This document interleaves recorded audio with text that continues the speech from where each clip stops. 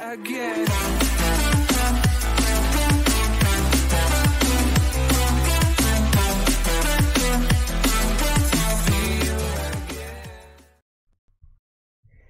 Welcome back to the Reverbium podcast. My name is Jimmy. And I'm Shaun.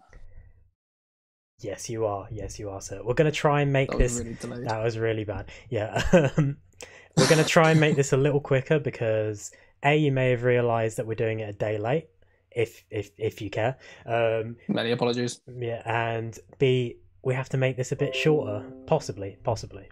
Um, Again, many apologies. you can tell which side of that is co- is coming from. Um, but our main topic for today will be the uh, Hall of Fame uh, for the Premier League, and we'll talk about the nominees and who we think um, out of, like we'll pick six out of that for our own personal uh, opinions of who should go in, and it'll be well, alright. who should be next? Because we Who have should be next? Who the should be next. Yeah. Um, so I have a list of stuff to go through, but uh, Shaun, where do you think we should start? What have you got on your uh, your agenda? Uh, well, we'll start with we'll start with some video games.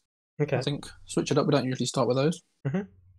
I'll start. Off, um, we had the release of Pokemon Snap last week. We mentioned it. They would come out the day that the last podcast um, released. The new Pokemon Snap. Um, This one. there we Right go. Getting some product placement. Yeah. Don't sue us, Nintendo, please.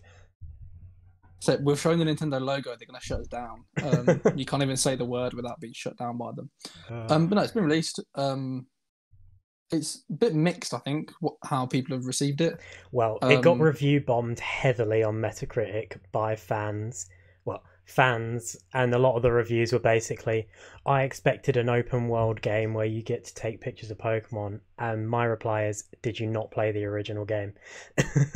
Well, you can't say that because there's obviously a lot of people that wouldn't. Like I never did. No, no, but I'm Um, saying you can't complain about the game if you went into it thinking that, despite all of the the they they always said it would be like the original. The footage showed Oh, yeah, would be like the original. all the Yeah. trailers, like you can't. So that's where I was going to back up. Is that if you looked at the like any trailers or anything, then you would have seen that that's not the case. yeah, and if or you read anything about the games coming out, that's not the case.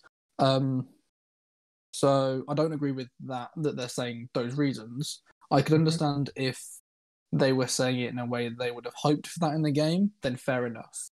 Like I kind of agree with that. Yeah. Um, it would have been nice to have that sort of thing, uh, to be able to just free roam, have more freedom in like the angles and the pictures you can take. Um, but you can't mark the game down for not being that when the game was never supposed to be that. yeah, In in my personal opinion, you've got to rate the game on what the game is going to be and what it is, um, and how it was always supposed to be. You can't mark it down because it's something you wanted it to be that it was never going to be. Mhm. If that makes sense, maybe It not. does. Maybe it does. it does. Sure. Um, I played a I played a bit of it, not too much. Um, personally enjoying Same.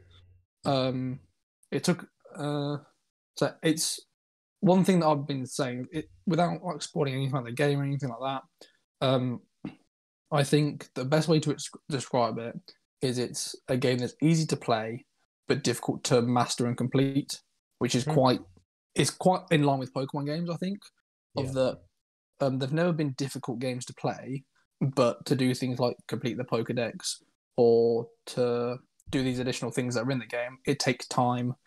Um, it takes additional uh, in the main game. Obviously, it takes additional things. You might need another person to trade with, blah blah. But obviously, in this, um, if you want to get all like the one star, two star, three star, four star, and all at the highest level, it's going to take a lot of time, a lot of repetition of doing the same routes and trying out different things, and yeah, just keep going through it. So it is very repetitive, and you end up you feel like you're just taking the same pictures over and over again Yeah. uh, quite quickly. But it's just how the game's designed for me. It's it's how it was supposed to be. I'm not going to knock it down for it because although I would like more areas, there's no reason, especially because they've done DLC for the main games. There's no reason they can't do that now. Um, I know there have been rumors about that there could be um, some DLC for it, not confirmed. Um, one of the main reasons is be- So I won't be surprised. I think the main reason people are talking about it is because there aren't any shiny Pokemon in this um in this new game. So people were saying it may be a later of an update or DLC where they go, okay, here's some more Pokemon, here's some new areas, and also they put shinies into it, which I can definitely see happening. Yeah, agree. Yeah, I th- um say I would have liked a few more areas. I think that's the only downside um, because I don't think you get a huge amount of areas for the price tag. I haven't Um, I haven't because- unlocked them all, so I have no idea. But So neither have I, but yeah, I think personally, if I wasn't like someone who just no matter what was going to get this game and play it, I think I'd be a little disappointed with it being a fifty pound price tag. But at the same time, Mhm. um, I also like I don't think the Pokemon Company have ever made a game that isn't like retail price of a full game. So yeah, don't- I mean, so apart from when they bring stuff out like Cafe Mix or whatever, which is like free or it's it is more of like an indie game, or I think maybe Rush wasn't uh that exp- like expensive or Link or something like that. Those smaller ones, fair enough. But at the end of the day, this was made as a full title sort of thing, so I kind of get the price point. But personally, for me, I don't think it's worth fifty pounds. I'd have liked a bit more, but I'm still enjoying it. It's yeah, it's it's not a bad game yeah. by any means. Um, well, yeah, we'll, we'll move on to a bit of a Resident Evil Village release news. It's out. Woo! I've got all the product placement here. Steelbook, if anyone's interested. Um, but yeah, it's out, and people can uh be happy because they get to see their tall uh, vampire lady that everyone loves, um, that everyone's all over. But yeah, any Resident Evil fans will probably know it's out. If you didn't know, it's out. Uh, but we'll move swiftly on to a lot of uh, Call of Duty news and also Activision news. Um, but we'll start off with a bit of Call of Duty news. There is a new tactical rifle in uh, Call of Duty Black Ops Cold War and Call of Duty Warzone um, called the Carve. It looks overpowered like all of the tactical rifles did and they haven't learnt their lesson. So get in there before it gets nerfed. But there was some big news regarding Activision this week. Um, it sort of stemmed from like they did some sort of conference. Uh, I don't I don't exactly remember what it was, but um, there was stuff coming out about the developers behind Crash Bandicoot Four who uh, they're, they're called Toys for Bob, and they have been tasked with um, no longer doing Crash Bandicoot or any sort of game like that, but they're um, now supporting developers for Call of Duty Warzone, as is every other Activision studio apparently. They're every single one of them is working on it, and you wouldn't know because it's a fucking load of shit most of the time, but it's happening. Um, there was also reports of potential layoffs at Toys for Bob, which stems some controversy, but Activision have denied that. I haven't seen anything else come about from that, so I'm just gonna assume that this was just it just didn't happen, but you never know. Um, so I'm not gonna I'm not gonna go either way. But yeah, that is the Call of Duty news for now. Oh, there is more. Sorry, the fact that Activision came out and said that it wants all its biggest um, future fran- franchises to be like Call of Duty. So I think they want to go for like the battle pass style of route and um yeah, go go from there. I don't really know what their biggest franchises like how they could adapt that. I can't really think of any of their biggest franchises other than Call of Duty at the moment, except yeah, for like Activision Blizzard stuff. So you got like your Warcrafts and stuff like that. Um, and uh, what what is they? Oh, is Valorant part of that? Uh, oh my god, is Valorant Activision? Oh, I need to look this up. because that's the big game. I'm out quickly now, it? checking. Riot Games. Riot Games are they owned by Activision? It's Oh, like playing the. Wikipedia game. Um, Oh, they're owned by Tencent, aren't they? So not not not Valorant then. Um, but like big games like that style that Activision own, we'll probably see a uh, branding of the this kind of Call of Duty style that we all come to know and love. It's not bad. It's just I wish they'd they'd be like, oh yeah, all our developers are working on this one game. Have you fixed this one bug that's been around for a month? No, we're getting to it. Oh, we fixed it. Oh, sorry, no, it, apparently it's still in the game. Um, which is what happened this week as well, where they apparently fixed the uh, glitch that allowed players to get underneath Stadium and uh, shoot players from above. until streamers found out that they did not, in fact, fix it and that you could still do it. so, woo. Um, I've also just realised we've got one bit of uh, one more bit of Call of Duty news, Oh God. which is um, Activision confirmed that the next Call of Duty will in fact be made by Sledgehammer Games. I know we said that that wasn't the case, but they have whether that wasn't the case back then and now it is is a different And story. they tweeted a great under- Undertaker gif to uh, Yeah. announce that. I think I think the staying. point was we knew they were kind of dead in the water, but then um, Activision might have just given them a bit of life. So yeah, expect the next Call of Duty game to be made by Sledgehammer and will also be integrated into Call of Duty Warzone, which was something they made clear. So yeah, um, have I got any more gaming news while my iPad freezes? which is great timing. I do have one more bit, um, and that is PlayStation and Discord have reached a deal with each other. It was uh, long rumored that Microsoft, in fact, was trying to um, acquire Discord for like a billion dollars or something ludicrous, but PlayStation have now made a deal with the company, and we will see a um, integration with the PS5 and I think the PS4, just all PlayStation products um, with Discord by next year. So yeah, uh, I mean, as as Thank people God. who use Discord a lot, especially when they're gaming, Be very helpful. it would be very helpful because that means we don't have to have double earphones in. um, but yeah, that that will be something to look forward to uh, for any fans out there. Uh, one more bit of news as well.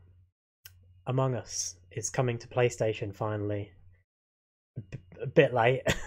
a bit. the, the, the dead game is coming to a different console. yeah.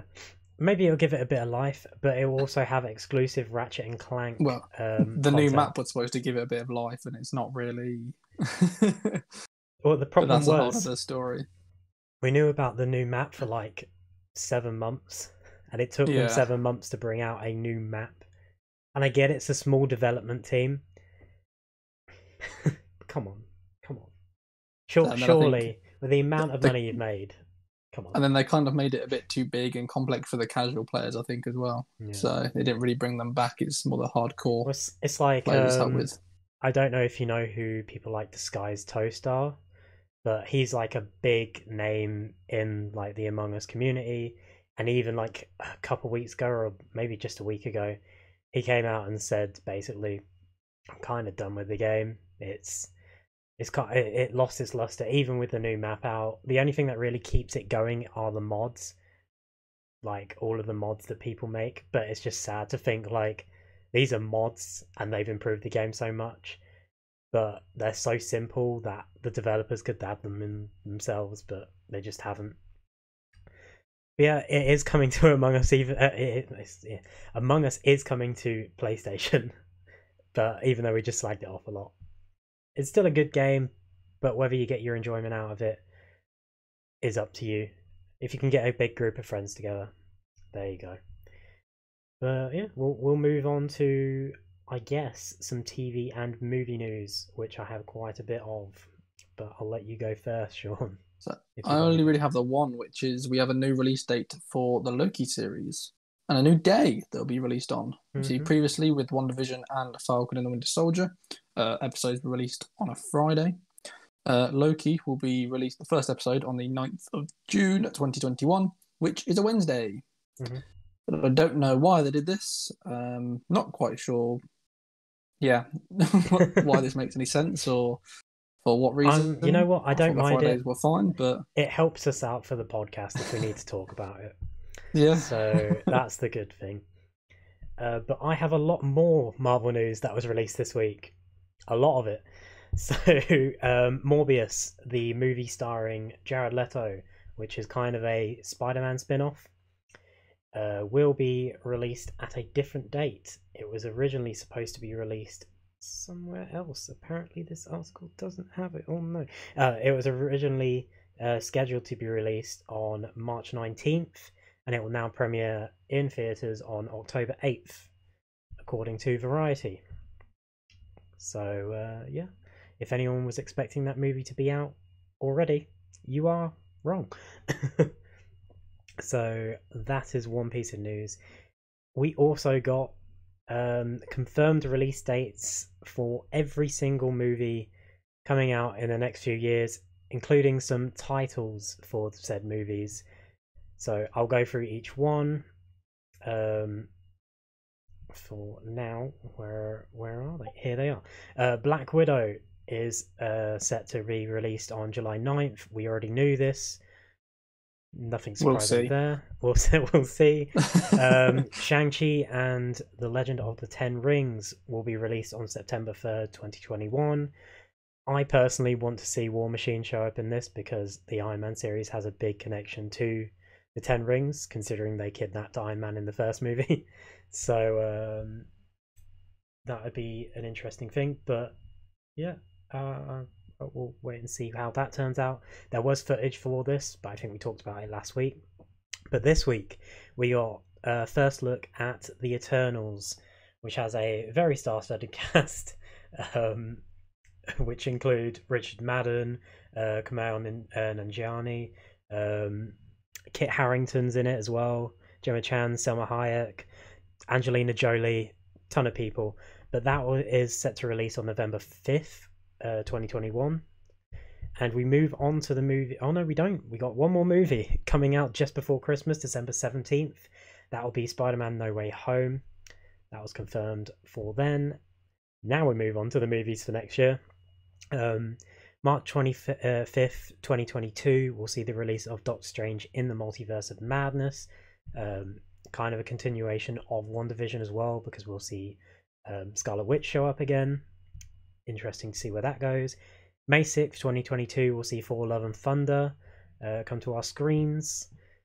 Uh, Taika Waititi will be returning, along with Chris Hemsworth, Tessa Thompson, and Natalie Portman, who will be also returning. Now's one of the movies that we've got an actual title for. That is the Black Panther sequel, which will be titled Black Panther Wakanda Forever. July 8th, 2022 is the release date for that. Um, it's said that the movie will kind of respect the legacy of Chadwick Boseman as the character, but they've decided not to recast him. And I've seen a lot of criticism of this online. Like a lot of people have come to terms with the fact that this character probably should be recast just for the simple fact that it will keep the legacy going. But they decided not to. I still they'll they'll still use Black Panther. I think. Like they'll probably give the it to title Shuri. Black Panther, yeah, Yeah. the title of Black Panther will stay, but I I think I think Shuri will become the new Black Panther, and they won't have a uh, T'Challa, which is interesting. But we'll see what they do. I'm not going to critique it too much. Um, oh no, this is a bad time. My iPad's not having a good time of it. I think- well, I can talk about that. I think they the way to word this um probably quite lucky in a sense of the position that the films are in Mhm. of the they still have a lot of freedom of like when they can set the movies because obviously they can take it anytime in the past anytime in the future because they said they've said themselves it will explore like the world of wakanda more Yeah. so they don't necessarily have to do a direct continuation of the last one. That they can literally jump about, which gives them more freedom to recast certain people, not recast, but then have different characters while still having the world exploring the world and the Black Panther. So, in a way, Yeah. in the most respectful way possible, they are lucky in the position that they are in that they still have that freedom and they're not like in the middle of a yeah, they're not completely in the shit.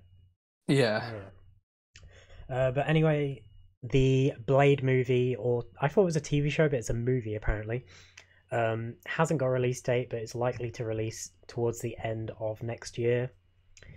Um, another movie that actually has a title now is the sequel to Captain Marvel, which will be called The Marvels, uh, which will release November 11th, 2022. It will probably come off the back of the Miss Marvel TV show, um, which is why it's going to be called The Marvels. Makes sense. Uh, so yeah, that's that's coming out. Ant Man and the Wasp: Quantumania is the movie that will be out in February of 2023, February 17th to be exact. god i hope it's better than the last one Yeah, so do I. But I'm also surprised do it's taking something this more long. than just chase something around the city jesus christ It was it was pretty bad. I, I'm surprised it's taking this long for that to come out. I thought it'd be one of the first movies, but uh, so it's yeah, been a while since the last one hasn't it yeah. And i would like to I tell you that i wish i knew the date but i don't so I think the final confirmed release date on this list is May 5th, 2023, which will see Guardians of the Galaxy Volume 3 come to our screens.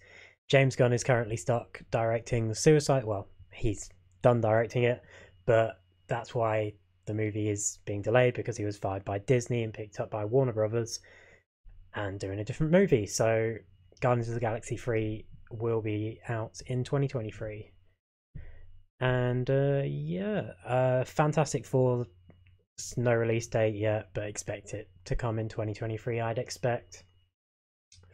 Other than that, we have no other news about Marvel, so it's time to move on to DC. Um, it was confirmed that uh, Carlos Valdez and Tom Cavanagh, who play Cisco and Wells in the Flash TV show, will be leaving um, after season seven, so they will not be here for season eight. As someone who loved the CW shows in their early days, I kind of don't care anymore. the show should have ended about five seasons ago because they really lost their way and the writing's been abysmal, and I want everyone to know that. First season, awesome, one of the best superhero shows ever. Season two, okay, not bad, it was pretty good. Uh, season three, eh. The rest of them, abysmal. So I'm not surprised, and I'm glad they're getting to go on to do better things because I think they're good actors and deserve to be uh, given that space to uh, improve. So yeah, that is my uh, Marvel and DC news. There is a bit more. Um, Dexter. Dexter was announced a while ago that Dexter, the TV series, would be getting a limited series continuation. Dexter is known to um, basically have had a shit ending. One of one of the te- most terrible endings in It's- TV It's show so annoying because the thing is, it was working so well Yeah. until they did that very last bit. Like if they'd cut it probably like two minutes earlier, it would have been fine. That's what annoyed me about the ending. I can not personally comment on it because I've only seen up to season four and I never went back to it. so um, Yeah, But I yeah, think so frustrating. I don't obviously. I don't know if you are with this now. You will go back to watch the rest of it. So I don't really want to say too much. I don't yeah, I'm I'm not that bothered, but, but I, I know Yeah. what basically happens. I do know But what fair- happens. if the ending that it, it should have ended happened, there wouldn't be another series. So you can kind of guess. Yeah. Well, it was announced that the original show showrunners will definitely be back, and they released a teaser trailer for it, which you can find online if you're excited. So yeah, uh, we'll, we'll uh, well, ooh, ooh, have we have we got anything else? Have have I been tricked? Oh no, we do have one little bit, one tiny little bit, and that is Zack Snyder's Justice League will be releasing um, in the UK on both Blu-ray and 4K Ultra HD soon. Do you know when that date is, Shaun? No, I do not. Tell me, Jimmy. Tell me. It's May 24th, 2021. So very soon, this month. Um, anyone who hasn't seen it and doesn't want to fork out any money for it, or didn't want to fork out any money for it um, at the time, can get their hands on a Blu-ray or Ultra HD uh, copy very soon in the UK. In fact, so yeah, I think that's all of my. I have a long list. This is a. I really should have structured this better. So sorry for looking down a lot during this podcast, but we're trying. Try, I'm just trying We're to hurry it along. prepared. I'm just trying to hurry it along. I'm not gonna lie. I Um, know. I know. but yeah, we'll move on to some, uh, I guess, pop culture and sports, kinda. Um, so I'll start it off with a bit of wrestling, just one little bit of wrestling, because it's caused a bit of controversy. Um, Eva Marie, you may know her from the the good old wrestling days of the mid 20 2010s. Um, much hated among the wrestling crowd. She's The returning. greatest era. she's returning. Fuck to- the Attitude Era. It's all about the mid 2010s. She's returning to It's all about CM WWE just after WWE let off, um, let not let off, let go of a bunch of great um women's talent. They brought back Eva Marie, one of the most hated women's wrestlers ever. Um, although she looks uh good now, well, I mean she looked good before, but she her presentation looks a lot better here, and she's it's said to that she's been training for a long time, and she's been with the company since around October. So this isn't total surprise, but yeah, it has been confirmed that she will be turning up soon. Um, we also got a bit of um, a bit of drama at a press conference yesterday. that would be the press conference between Logan Paul and Floyd Mayweather. Yes, that is actually still happening. Um, but it didn't involve Logan. It involved Jake Paul, who stole Floyd His Mayweather's hat. brother. he stole Floyd Mayweather's hat and then got clocked in the face by one of his bodyguards and also Mayweather afterwards as well. Well, have you also seen that now um, today? Uh, Jake Paul actually now has a "Got to Your Hat" tattoo. And he also released merchandise for Gotcha Hat, which is definitely wasn't planned. He definitely really planned to do this. actually. Yeah, he definitely got that turnaround Yeah, in less so- than 24 hours. We're not really going to give him much more time, but that is a thing that is happening. And it was interesting. It was I- found about that. It was interesting to see like Mayweather lose his head. Like you would Hmm. have thought he'd have been a bit more composed, especially like leading up to a fight and something like that. Especially with like who he is. Like Yeah. you would have thought he would have just been there like, I'm bigger than you. Not as in like stature, but in like as a name sort of thing. I, I've like I'm huge. Like I'm this great big personality in the boxing world. Like, yeah. I don't need to lower myself down to you. And to be honest, for me, something like that, it loses a bit of respect for him because it's a bit like, why does he need to lose his head going, I'm going to fucking kill him, blah, blah. It's like, he's just a kid and he's, he's tried to wind you up and you've fallen for it. Yeah. I mean, don't really But at care. the I same time- does. Yeah. So in the position, you'd probably would lose your head and stuff like that. But I just feel like it's a bit kind of like you're this great box great think why have you lowered yourself down to his standard of letting him get you all riled up? It's just uh, a bit stupid, really. Isn't you it? know, But, we ask that a lot in life. But at least he gave him a black eye and a broken tooth. So Yeah. Um but yeah, that that is a thing that definitely happened and I guess we'll stay tuned to see where that goes. Um we have confirmation of a few finals that will be taking place in football as well as a new manager that will be taking on a team that uh, was in the semi-final of one of the said competitions. Uh, Jose Mourinho will be taking over Roma uh, during next season. After they got Starting battered, after well, semi final. Well, the first leg, yes. Second leg, they second held on a leg bit, we were abysmal but i mean 8-5 it's a very entertaining two um two fixtures for the semi-finals. So any casual fan probably got entertained from it. Uh, but we have the europa league final which will be manchester united versus villarreal who completely dominated arsenal Arsenal over two legs. Good legs. evening, Arsenal fans. Good evening. Arsenal over two legs only had three shots on target apparently, which is amazing. Um, and they scored one, which was a penalty.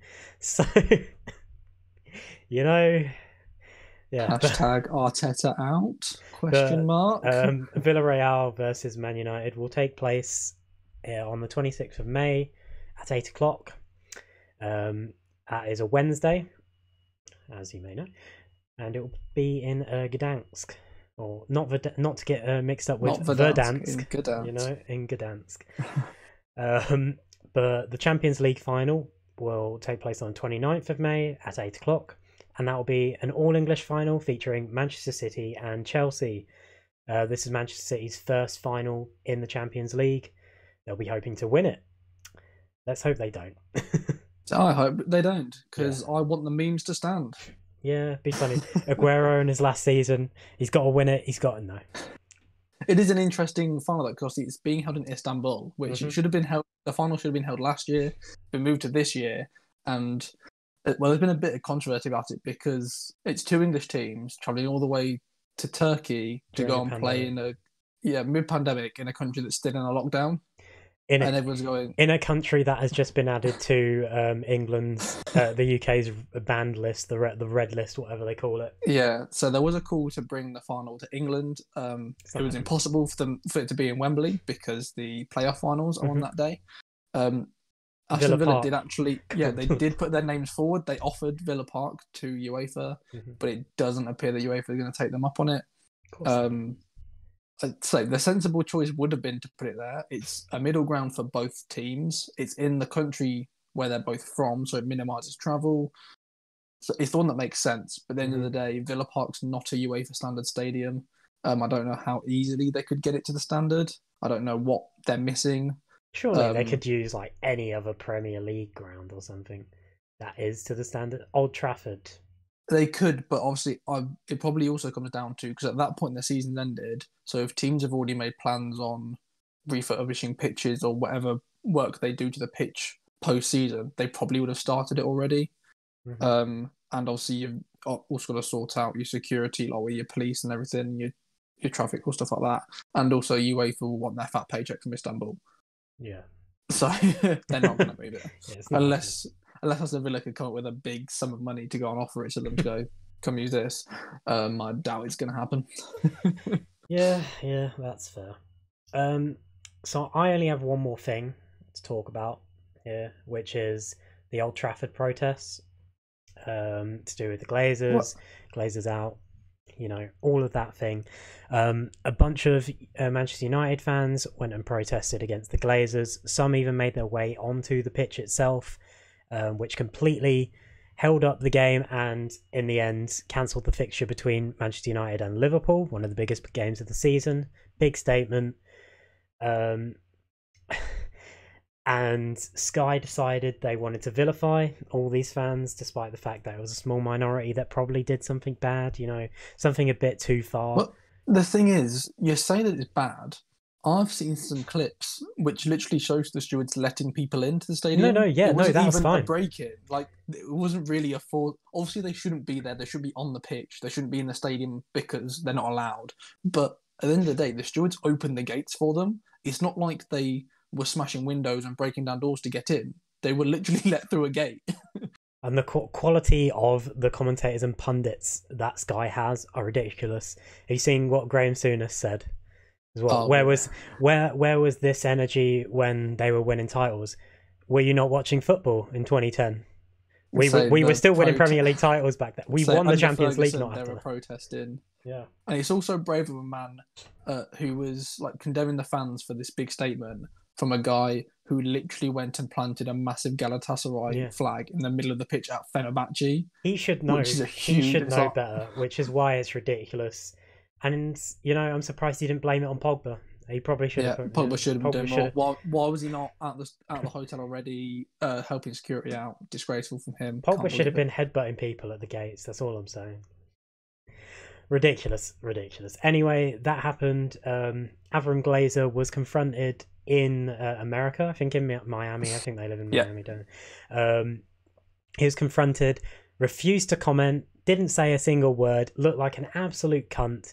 If he'd said like "I'm so sorry" or something and just left it at that, it it would have Not been even so that. much better. It would have been so No. much better. I would have fucking backed him more if he turned and went, "Don't give a shit."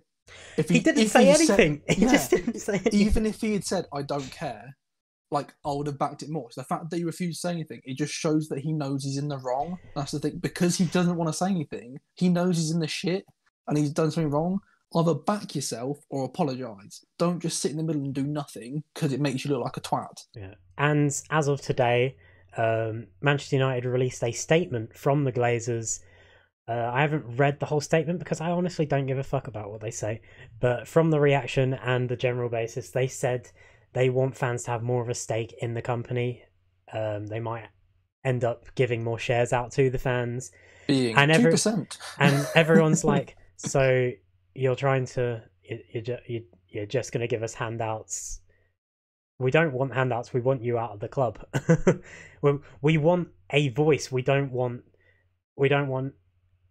Hi, hi. My name's my name's random Man United fan. You know, can you do this, Here, please? have- we want. have this a voice. 0.00001% share in this football club, which is equivalent to about 20p, and will mean absolutely nothing because you'll have no you will uh, have no say in anything. You'll get nothing from it. But here, have this. it's a complete. Nothing will change. It's a complete PR trick. This summer they'll probably spend big on big players just to try and appease the fans, and I hope the fans don't give in. I hope they keep going. You know, let them spend their money. I'm very happy for them to spend their money to buy us players. Do that, but we're still gonna we're still gonna have a go. we're still gonna keep uh, protesting, keep on going, and the same can be said about a lot of other clubs. You know, I'm sure Liverpool fans will try to keep it up. Uh, I know I know they've not been as vocal, but that doesn't mean So behind the scenes they So, aren't. for me personally, the Liverpool one. Um, well, there's two things I want to say about it.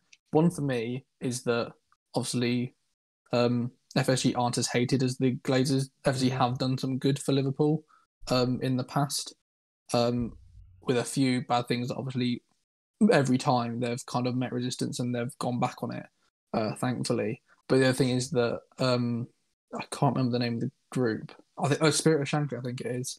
Actually held talks with FSG um, about going forward about making sure that so many members from Spirit of Shankly are on the board and are involved in making decisions, and that any repercussions, like money wise, from this whole Super League fallout will be paid for by FSG themselves and not the club.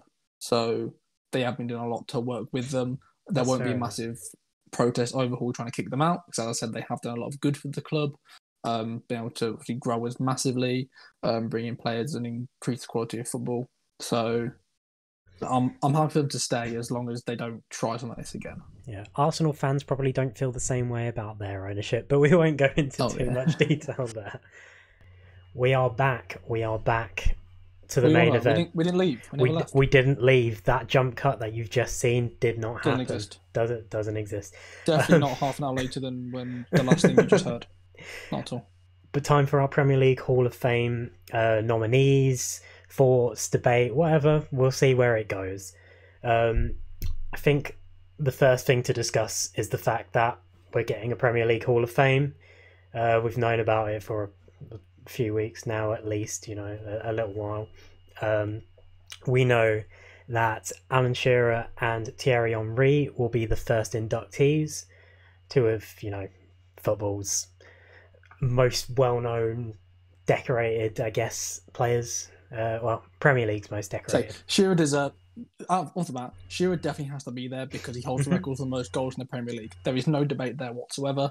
Um, and then for me personally, Henry has to go in as well because he like the age that we are growing up. Like we we were a bit too late for Shearer. I think we got him at the end yeah, more of his career. late. Like we didn't really get the Blackburn days. We didn't get like peak Newcastle.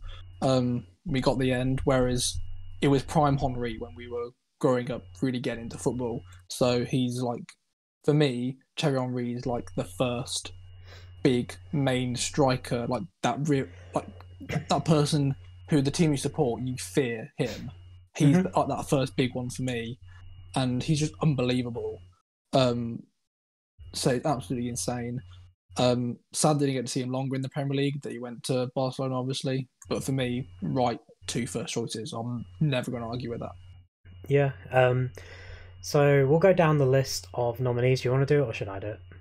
I can do it. It's fine. Okay. I like doing names. Uh, so I don't know how many there are. I didn't count. Uh, there's about Um, fifteen, I think. Yeah, but these are these are the people who are up next to go in. I believe is it. Who? How many more have been inducted this year? Is it just one more? uh, not sure. Okay, but either way, sure. these people are now going to a public vote for the next ones to go in. Um, and they are Tony Adams, David Beckham, Dennis Bergkamp, Sol Campbell, Eric Cantona, Andy Cole, Ashley Cole, Didier Drogba, Les Ferdinand, Rio Ferdinand, Robbie Fowler, Steven Gerrard, Roy Keane, Frank Lampard, Matt Le Tissier, Michael Owen, Peter Schmeichel, Paul Scholes, John Terry, Robin Van Persie, Nemanja Vidic, Patrick Vieira, and Ian Wright. That's the first time I've read out a list of names and haven't butchered a single one because I actually know who these people are. Oh, you got your bad bunny.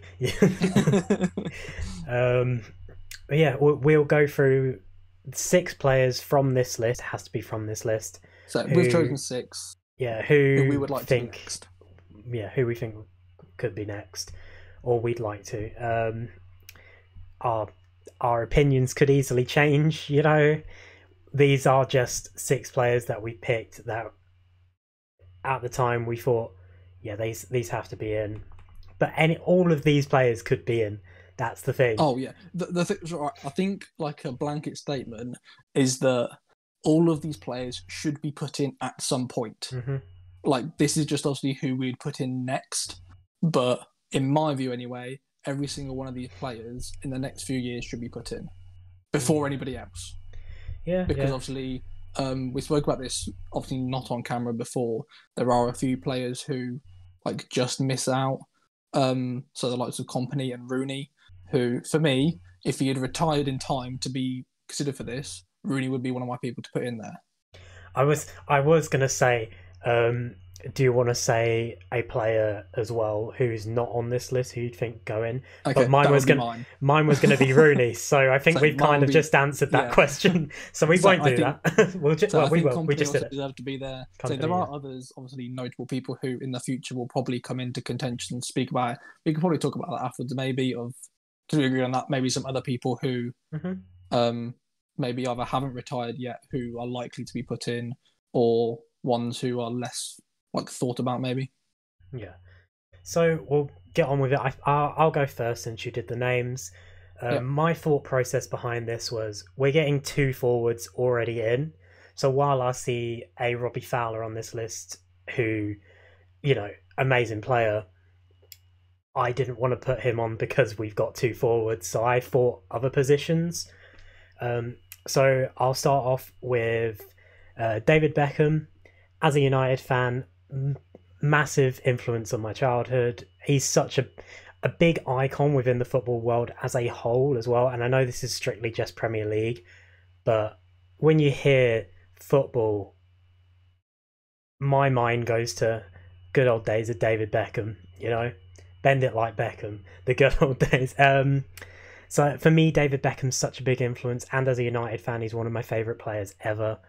So I did want to put him on this list. And here's my number one. There are players that I would have wanted, but I've tried to. While while there are a few ex-United players on this list, I, I won't deny. Um, that's just because that's what I've experienced in my life. So it's hard to not put them on. And these are good players, you know. Um, I would have liked to put more, but I'm trying to be balanced. And there are players that deserve to go in beforehand. Um, next on my list is well, the three next players on my list are kind of you have to put them all in. You know, you, it can't just be one over This- the other. I'll come It's- on to it. This is my issue with my list at the Yeah. moment. I'll come on to it later, but I know where you're going with this, and this has been an issue with mine. So I had a debate with I think it was Adam, not a debate, but like a kind of conversation where um, he was like, "Oh, I put um, John Terry on the list," and I was like, "Yeah, he's been there for a long time, but he's he's not been long retired, and you can say that about a lot of players, I guess, but."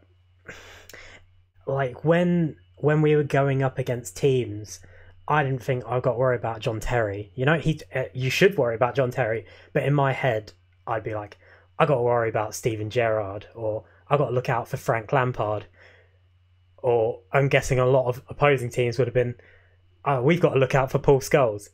So you get my second, third, and fourth pick, who are Frank Lampard, um, Steven Gerrard, and Paul Scholes. Because I, while while I'm a bigger Paul Scholes fan for obvious reasons, I'm not going to sit here and say he's definitively the best. In my opinion, Frank Lampard probably could be labelled the best. I don't think Gerrard is, but he's such an influential player, one of the most well known players in Premier League history. Uh, I'm going to counter that with he has the most PFA uh, Team of the Year nominations. That is totally fair. So, but there's there you is could argue he is better. there is another player. for this. When we're not going to go into yeah, I mean that's the point. Anyone could go on it. Anyone could go. Yeah, On. Um, but obviously the debate of these three is a debate that's gone on for so many years that there's yeah, it would it would make the end of this video way too long to go into just that. exactly. Um, and my last two players are both ex Man United players, but one of them I will be swayed on. It was just very hard for me to know who I wanted in that position. Um, but this one I will not be swayed on, and that is Peter Schmeichel. Probably the best Premier League keeper in history. I grew up more in the Van der Sar era, so you know it's kind of. But but when you see Peter Schmeichel, he's such an influence on Manchester United as a team. He's, I know it doesn't count, but he, even his son is his son is a major goalkeeper for a major Premier League team. You know, like it just runs in the family, and you just gotta lo- you just gotta love the man. You gotta love the man, and I think because I'm trying to go for different positions, I know I just put three, four, four midfielders. Sorry, um, but you know, midfield is such a dominant uh, position that it's very hard to not put them on there. But um, Peter Schmeichel, if I had to pick a goalkeeper, it has to be Peter Schmeichel. And my last one, which is one I'm very happy to debate, I'm very happy to give up on, um, and that is Rio Ferdinand. you know, a lot of people say nah. A lot of people might put John Terry over him, and that's fair. As a United fan, he's been more of an influence on me, which is why I have to put him in, uh, over that. I don't know I could be a bit more, you know, be a bit less biased, but I'm going to be a bit biased here because I'm open to uh, debate uh, debate easily. Um, I genuinely think Vidic might be the better player, but Rio Ferdinand did it way longer, which is the reason I put him on here. Um, and he is he is a he's, he's a big name. You know, he's he's he's the name. If you think of the best Premier League uh, centre backs, some people might think, uh, you know, just just anyone else. But for me, it'd be like Rio Ferdinand and Vidic. You know, so I had to pick Rio Ferdinand for that. But I am open to debate on that one. And um, I would like I was uh, talking about earlier. We had a bit of a discussion, and Michael Owen came up in conversation. I'm not going to put him on the list. Obviously, I've reached my six, but I'd like to bring him up here. Don't know if you've got him. I'd highly doubt it. Um, but he's he's a great player, fantastic player, and he's the only player on the actual list that's won a Ballon d'Or. Um, but The But- problem is is after he left. The problem is after he left Liverpool. So he spent a year at Madrid. He came back and he was fucking wank. So the problem, everyone knows why, is that it was way too early. Like how much he was playing when he was younger, um, gave him a lot of in, like, problems with injuries. But yeah, that period from 2005 to 2013 at Man U, Newcastle, Stoke, just wasn't the same. but it, he's he's one of those players that made every club that he's been to hate him. You know, it's Oh, the lack yeah. of lack of loyalty. Um, excellent player, So great player. personally for me, obviously that shouldn't really come into this. Like No. I uh, wouldn't merit somebody um, higher up this list to go in because they stayed at one club more than No, another who jumped around. But I think it's just when you look at the players on this list, there's a lot of them who did what they did for a lot longer period of time. Mhm. Whereas although Owen was fantastic and was amazing when he was younger in that first spell when he was at Liverpool, um, it, it was just a bit short lived compared to a lot of the others. Like if you look at people like we said, Lampard's goals, uh, Gerrard, Terry, those sort of people did it for so long and Yeah. like, so consistent as well. It's like even on a bad season, it was still a better season than most of the players in the league. Whereas Owen didn't have that for the length of time. Yeah. You could argue that obviously you could obviously say that he definitely he was better than those players at his prime, which obviously was early in his career because he was a person who won the Ballon d'Or. But it's just for me something like this I think is a bit more like a legacy thing of they were at the, the top for, for a long period of time. Yeah. Does he deserve would- to go in? Yes. Does he deserve to go in now? No. So he wouldn't be next on my list. Yeah. He'd be in there at some point, but he's not immediate. I'm banging him in right now. Yeah. Yeah. I agree. Um. So, and another reason I didn't put him in is because I was trying to stay away from forwards. So, you know, that that goes hand in hand with that. But that's my six: David Beckham, Steven Gerrard, Frank Lampard, Peter Schmeichel, Paul Scholes, and Rio Ferdinand. Off to you. So I currently only have five, with the last one up for debate because I can't fully decide. Okay. Um, so my first one straight away, and this is it's probably going to sound weird to you, but my first im- immediate thought is Lampard, which obviously anyone who's a Liverpool fan, people would think I'd sway towards Gerrard in that way, but for me, um, Lampard has to go in and has to be one of the. Well, okay, this is where my de- my own debate head comes in because for me, I think he has to be one of the next because his goal scoring record is ridiculous. He's the highest scoring midfielder in the Premier League. He has more Premier League goals than most strikers in the Premier League. Yeah. Um, admittedly, he did it for a lot longer than a lot of the strikers below him, but he was just fantastic. He did it. He performed so well and so consistently under so many different managers over such a long period of time that for me, he is one of the best and has to be in there. My only issue, I think, it's not a reasoning; it's more of a sentimental thing. Is that I think Lampard, Gerrard, and Scholes should all be put in together. Yeah. Yeah. I agree. Like I- I think it would be nice, and also then it's it kind of keeps that argument of who was better alive longer. Just have a because class of midfielders going. You know. So as soon as you put one of them in before the other, it gives more ammunition for someone to go, "Oh, that plays better," and everyone clearly thinks it because they put him in the Hall of Fame first. But if you put them all three in together, you keep that debate going on longer, um, and it's just like quite poetic of how those three were always the ones at the same time, kind of like competing for that. Are they like the best midfielder in the league at the same time? Yeah. So Gerrard is the other one on my list, um, purely because growing up as a Liverpool fan, he was my idol, um, and I think most, if not all, Liverpool fans age will probably say the same thing. Um, what he did to carry that team as much as he did for the years he did through some really shit years, um, was amazing. Like he, and he's one of those few people, one of those few players that completely changes a game, and he has such big moments in games that you remember, like the Olympiacos goal, which set up for um, the year we won the Champions his League. sending off against Manchester United, his slip against Chelsea, all of that. Sorry, just go. uh, obviously in that final himself as being the guy to rally the team together. You've got that strike against West Ham in the FA Cup final. Um, there was another one I had in my head that I've completely forgotten about, which is a bit annoying now.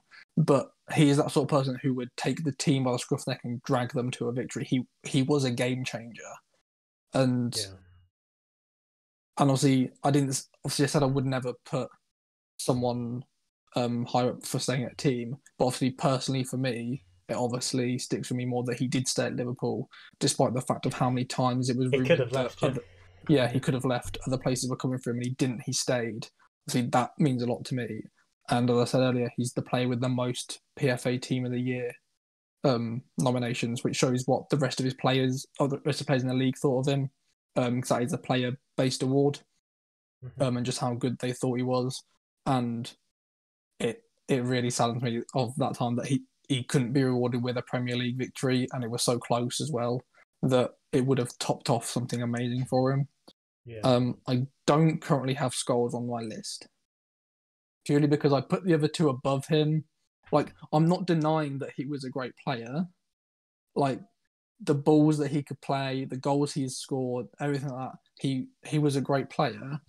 But personally, because obviously the thing with Liverpool, I'll always side with Gerrard more. Because of the stats, I then side with Lampard a bit more. Obviously, I have that space left, which I was debating putting him in because of keeping with the all three of them together, but I'm still not sure. Um, I completely agree with you on uh, Schmeichel. Definitely has to be in there. Mhm. Um, so for me, greatest goalkeeper of the Premier League era. Um, if we talk about other players to come in, there are a couple of other goalkeepers who I believe um, should be in the, the mix. Um, obviously, it's a bit more difficult, I think, with goalkeepers because strikers are easy ones to put in because you see how many goals they score yeah. and it's an easy one to do. I think people seem to overlook goalkeepers and defenders a lot. Um, but I don't think so. I think there's some other people who could be in contention and should be. Um, but I'd definitely put Schmeichel in. Um, I was also making an argument earlier to you that I believe that it should be some of the older players that get put in first and they should work their way forward. yeah. Most of my list goes against this because I do have Terry on there. Again, it comes through the fact of how long he did it for. The same sort of reasons as Lampard, of that they had very similar careers of like the length and the timings of everything. Um, obviously played together for a long time under those different managers, performed so well. So he won the league back in the mid 2000s, stayed with the team, kept at that high level, came back and won it again later on. And for me, he was like the last of one of those proper, true British defenders who would give everything, put everything on the line, literally put his body on the line sometimes to do everything to stop that ball going in the back of the net. And I think he was an incredible defender. Yeah, yeah. I'm, So I'd, I- I'd I put him in. I agree. Um, like I, I just with with like I said before, Terry was such a good player. It's just uh, I'm as a United fan, I had to sit there and think, do I want Rio Ferdinand in? Because I know Ferdinand is or was at that level. You know, it's a very hard distinction to pick the tw- uh, between the two, especially if you support one of the clubs. You know. Yeah. So I'm So, like, I'm all for like- I'd I'd I'd be fine if Terry went in ahead of Ferdinand. That's why I said it was kind of my mixed pick. But they're both So it could be there. one of those where you think of it like Gerrard Scholes and Lampard that those two should be put in together because the debate of who is better between those two is kind of on the same wavelength of that sort of Yeah. quality against each other. Of it's very difficult to to compare them and actually pick who was better. Um, and the final one was actually uh, Roy Keane. Um, Yeah, I really contemplated putting him in as well, but I was like, I've got too many United players. so I have to Stop somewhere. um, just again, unbelievable player. Uh, the length he did it, uh, did it more than just Man United. I believe, isn't he the only um, person? Was it? Is something stupid like he's the only player to have been included in a team of the year from a relegated team? I believe he has that stat of for Forest. Forest, yeah, it would have been Um, for, um. I mean, I, I, wouldn't be surprised. has. I wouldn't. I'm sure. I'm sure that there's some sort of record like that. Um, and yeah, again, unbelievable player, a game changing player. Yeah. So I have that this sixth spot, and I have a couple. I'm going to put a couple of names out on who could go in there. So I've already said Scholes. Yeah, Um, well, obviously great player. Um, drawing with the other two. Um, along with my thing of older players should go in. Uh, I've debated putting Tony Adams on the list. Um, because of how influential he was for Arsenal as well. Um, during the time he was there as, and as captain, and everything. Uh, he again one of those proper British defenders. Um, and a way of having an older one in uh, to bring through. Um, Andy Cole definitely needs to be in the um, in the discussion for me. Again, that sort that goal scoring record, um, with second highest in the league, and the way it's the problem is like all those United players together. You can make a case for any of them going how good they were, but it's also like how many of them made each other look good and like just because you could you can't really tell if you take them out of the team how well they'd be. It's like, but Andy Cole was just an amazing striker as well at the same time. Mm. Um, Ashley Cole, I'd definitely debate putting in. Uh, for me, best fullback the Premier League has seen. Definitely in recent time, like more modern times anyway. Yeah. Um, just incredibly consistent. Um, yeah, I, I don't think we've seen anyone near that level, and we won't for a while. Um, so I think he has to be in contention. But again, it's more of those I see. Even though when you look at his like active time, it started in 1999, or- but it's the through to 2014 that then, for me, because like this era of players, the same with Lampard, Gerrard, Scholes, all all those Ashley Cole, for me because they were like the prime era for me when growing up of watching football. It doesn't feel like they should be like in a Hall of Fame yet. Yeah. They shouldn't be like a legacy player yet. It's to me, it's still like years, yeah, how to me in my head it still feels like oh it wasn't that long ago they were playing. Obviously, Ashley Cole stopped playing seven years ago, Mm. which seems ridiculous, and it doesn't seem like it was that long. So that's why I kind of go against that. Um, someone who I feel is going to get overlooked a lot in this discussion is Matt Le Tissier. Personally, I wouldn't put him in, but Mm. he has an incredible goal scoring record as well. And to do it at a team like Southampton, who were never really up there as one of the a major team, I think really um, speaks a lot as well. Um, and I believe another weird stat for you that he is the only player to have two goals from the same game nominated for the goal of the month in the same month. It's some weird stat like that as well. But I, I do think he'll get overlooked a lot in this. I personally not going to put him on the list. I just wanted to mention him in this discussion. yeah, deserves an honor. They all Um, deserve an honorable mention. Yeah. Obviously, if you hadn't mentioned it, I would have mentioned about Owen uh, with having that uh, winning the Ballon d'Or and how great he was um, in that early period. And then, so I think you talk about Fernand, you've got to talk about Vidic. Um, Obviously, they work together very well, and it, would be difficult to put one in above the other. Um, and it is very difficult to split the two. I'd probably side more with Ferdinand, probably more because he's like a homegrown player sort of thing. Um, I did because he he did it longer. That was my decision for that.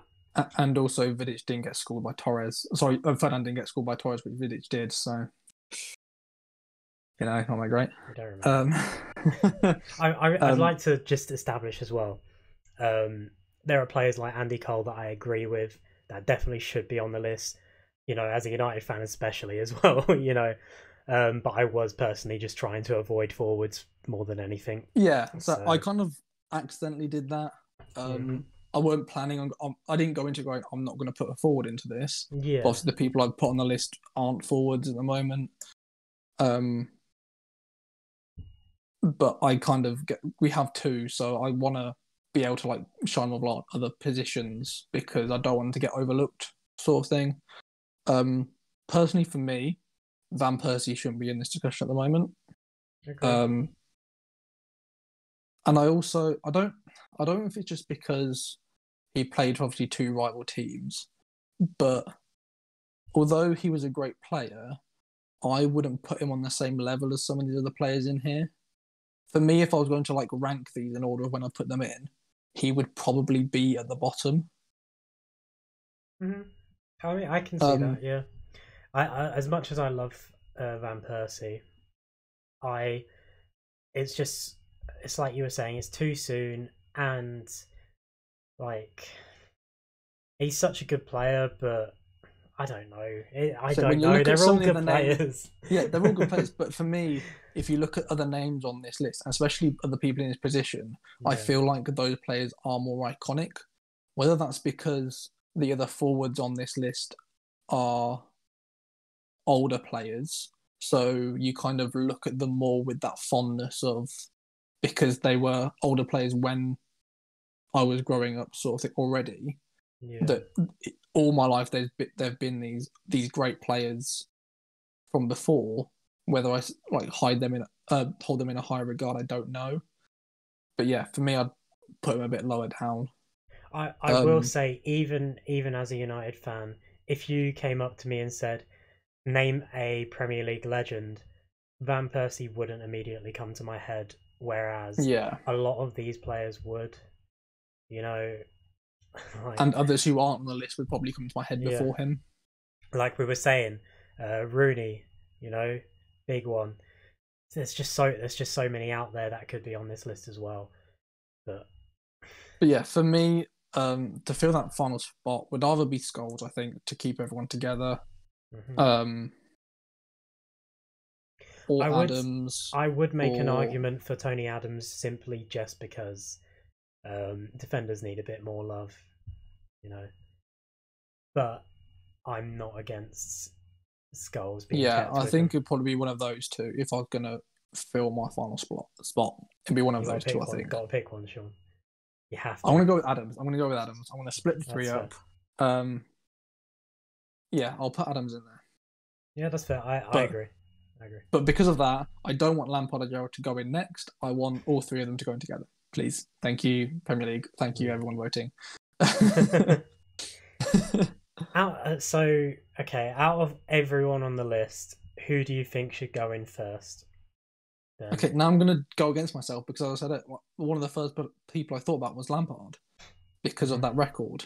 Um, but I think the, the two it's between for me is Lampard and Schmeichel. Yeah, because- you, you, because you've I- taken mine. go on, go on. Because because I want the three to go together, I'd probably side more with Schmeichel. And just be, again because I don't think goalkeepers get as much recognition as they deserve. I think it'd be great to put him in there to actually show that. It's a and statement. was it's so a statement just, to put a goalkeeper in ahead of everyone Yeah. else. And, So- I- and I- I he was just unbelievable. Mm-hmm. Yeah, I mean, like we said, one of, if not the best Premier League goalkeeper in history. Um, and like it's such a statement to put him in next that I, uh, he's the only goalkeeper on this list, I'm pretty sure as well. Yeah. So imagine just putting the only goalkeeper on the list on there. He deserves it as well. Like we're not saying he should be in it soon anyway. Um, but I think for his position, for the position he played, he was top level. He was the best. So how can you not put him at least one of the the first? You know, you can make arguments about anyone. You can make arguments about Lampard going in before him, um, and I wouldn't I wouldn't be against it. You know, he is uh, one of the best midfielders in history as well. But to put in a goalkeeper ahead would be such a big statement and proves that um, we're not just we're we're not just there to uh, appreciate all the goal scorers. He scored goals. Yeah, we're we're He there scored to goals. He got appreciate in Hall of Fame. we're there to appreciate all facets of football, as you should. You know. Yeah. So. Uh, So I have some note, notable mentions that I think could have been on this list. Will probably be in the discussion in the next few years. I do have a very big outsider rogue one, which I you probably wouldn't see coming. Uh, but while we're talking about Schmeichel, um, other goalkeepers who I think should be on this list, Van der Sar would definitely be in contention for me, and Petr Cech. I don't know where Petr Cech stands with being in this because he was put on the squad, wasn't he, at Chelsea again for something this season as like a reserve goalkeeper or some shit. I can't Yeah, whether that was. He was. Yeah. Um, so whether that's now knocked Cup? him. So it was something like that, but whether that's now knocked him so that he can't be nominated at the moment, because obviously, if you didn't know, um, there were actually, um, rules and stuff. yeah, there were rules of who could be nominated. Um, I'll quickly try and It wouldn't be find. them. Uh, like while you're looking as well, Van der Sar would be my second as well. Uh, he might even be my first just because I grew up on Van der Sar rather than Schmeichel. Yeah, But I also would have said uh, Peter Schmeck. Uh, Peter Schmeck. Jesus Christ, Check. Cech. I had Peter Schmeichel on my my mind. Jesus. Um, but yeah, I would have put Peter Cech on there as well. yeah. So, so the requirements for to be nominated in this batch anyway is that um, the players must have been retired by the first of August 2020. Which obviously this is why Rooney's not on this list. This is why Kompany's not on this list, um, and probably why Cech won't wasn't. He might not be on this anyway, but why he wouldn't be because I think being named in that squad would probably obviously make him not retired yet. Um, because it's just I believe it's just retired from football, not retired from Premier League football. As far as it doesn't specifically say, all- but I'm I'm assuming that's what it is. Yes, Just trying to think. Yeah, all are. of them definitely retired. Yeah, Um, so on top of that, the players must Persie just them- retired, didn't he, last year? yeah, Yeah, that's why I was like, Van Persie was he not playing? Yeah, no, he retired. But yeah, um, everyone. So a player must have made a minimum of 250 Premier League appearances unless they have achieved any of the other milestones. So these are the following ones that if they've met one of these, they don't need the 250 appearances. Um, but if they don't have any of these, then they need those, which is made a minimum of 200 Premier League appearances for just one club, been selected to any of the Premier League of the decade or 20 year anniversary teams, won a Premier League Golden Ball or Golden Glove, been voted as Premier League Player of the Season, won three Premier League titles, which for me I think is huge. Like they could have easily just left it as one, Yeah, but I think a, three's a lot. To be, yeah, why would you not? because I it's think not these often. are a bit harsh. It's I like, get it's not often, but- but I get it early on because you want the best of the best. But there aren't that many players that have won three Premier League titles, which is probably the reason why to keep the list short. Because obviously, if you make the criteria too open, people are going, "Well, why is this player not not in this list? Why is this player?" Um, and the final one is score 100 Premier League goals or recorded 100 and 100 Premier League clean sheets, goalkeepers only. So that's the criteria to get into this list. Yeah, I one or two Premier League titles would have been my pick, just Yeah. simply because how many teams have won Premier League titles? You know, yeah, yeah. But to be fair, when you think of the other criteria like the playing the games or nominated for team of the decade or beating a team of the season it kind of makes the premier league titles irrelevant because more than likely if you've won three premier league titles you're also going to have got one of those as well because you would have my played a lot of games anyway to be able to win the titles you, um, if you want a title, you're more than likely going to be in contention for a team of the season if you're one of those top players. So, it although it seems harsh, it's kind of end up being redundant. I think. Okay, yeah, it does level itself out. You are right. But yeah, so people who they're probably ones who for some reason didn't make this, uh, probably didn't match some criteria here, but who I would think like ignoring this criteria, who I think would put in. Obviously, I've said Van der Sar, Cech. Um, obviously said Rooney, but he would have missed out because of the retiring. Same with Kompany; those two have to go in there. Yeah, I Um, agree. They they they be if they were both on this list, I would have put them both on my list Yeah. for this. Um, when they both retire, I believe Aguero and David Silva should both be in contention for it. Definitely Aguero. Aguero. Um, Silva, I think he's kind of an unsung hero for Man City. Of that, he was never one of the bigger names like your Kompany, your Aguero, those sort of players. But he was always there, always consistent. I think he deserved to be there. Um, I'm trying to think of others before I give away my rogue one because it's quite funny. I wish um, I'd come prepared for this part because I genuinely, other than other than Rooney, I came with a blank there. So I think someone like Carragher should probably at some point yeah, um again for how long maybe i don't think well i wouldn't put him at the same standard as people like ferdinand and terry but i think he was still up there um for what he did Mm. um obviously when he retires cristiano ronaldo's got to come into this list oh, oh he was yeah, he oh. was amazing when he was at manu it pains me to say it but he was um so he has to be in contention at some point He'll be on there. um Sure, surely he's reached criteria on that list. Oh, There's yeah. no way he hasn't. so he must have at least got a team of the season somewhere yeah. Um, I'm trying to think. Oh, wait, I'll say my. So, personally, I think at some point Gareth Barry should be put in contention for this, I don't think Which is that's not- much of a rogue pick. but I don't think people would think about him. I think Doesn't- he's Doesn't very he have the most Premier League appearances? He has the most Yeah. Premier League appearances. Yeah, I I'd- believe I'd he put has. him on there for that. Say, and it's just he was never a top player. Yeah. Maybe limited by the fact that there were several times we were rumored to go to a bigger team and it never happened.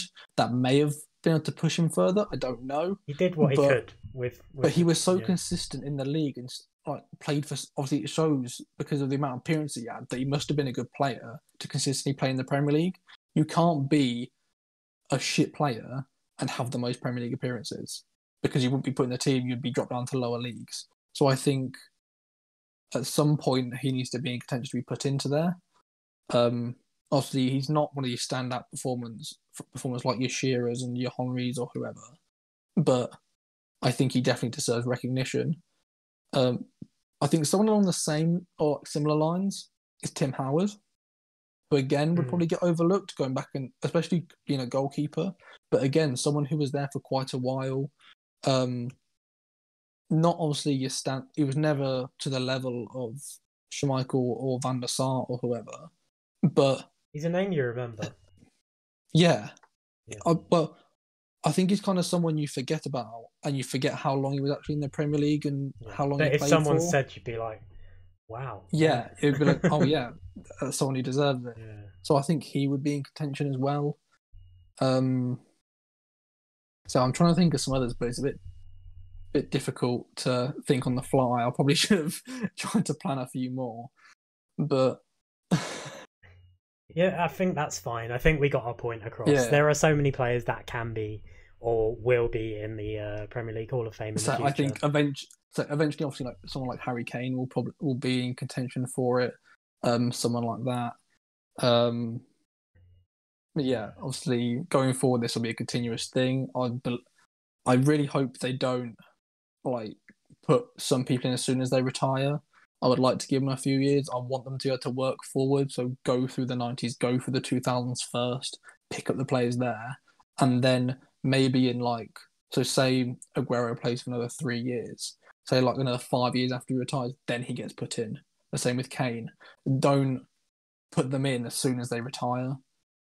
I think it should be there should be a wait a bit. of bit and Yeah. yeah, There's there's obviously exceptions. You know, if a player sadly uh, were to pass or something like this, you know, I I would expect an exception. But for you know a player who's just maybe uh, uh, retired or would be retiring, give it a few years and go through the motions with everything everyone else, and then uh, yeah. But also, we don't know how they're going to induct people going forward. Obviously, this the first two were put in. This next batch is like is being voted on.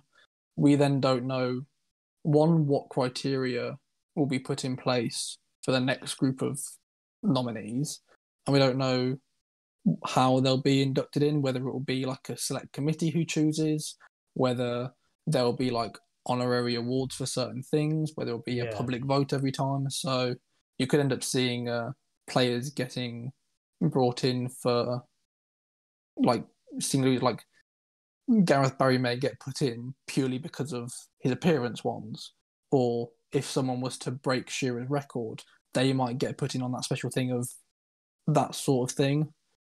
It, like, so it's not going to be stuck of this is how it's going to be done going forward. So they could do things like some special awards to put people in for. You never know. Yeah, yeah. We shall wait and see. Uh, but I think we're pretty much done. This has been a long forty-minute segment. Yep. So, so uh, enjoy the one hour and whatever long podcast this is gonna be. But um, yeah, f- the normal stuff. Uh, subscribe, like, follow us on Twitter as well. And uh, yeah, we'll we'll be back next week. Uh, I will be in the same setting because I wouldn't have been anywhere. But um, the week after, I will be in a different setting. Next week, I don't know what we're going to be doing, but we'll see when we get there. I don't know if anything big's happening. Um, but in a few weeks' time, we will be talking about um, the end of the Premier League, Premier League season review, looking back uh, back at our um, mid-season and um, pre-season. Well, kind of pre-season. It'll be, pre- it'll be pre-season because we, we didn't change anything at mid-season. We just Yeah, yeah. Um, discussed what we did. So so we will be doing that. But yeah, um, catch us catch us next week. Uh, we'll be normal normal times Friday next week. Hopefully, maybe. Uh, I mean, will have to be because Hopefully. I can't I can't really record on Friday next week. So um, yeah, we shall see you soon.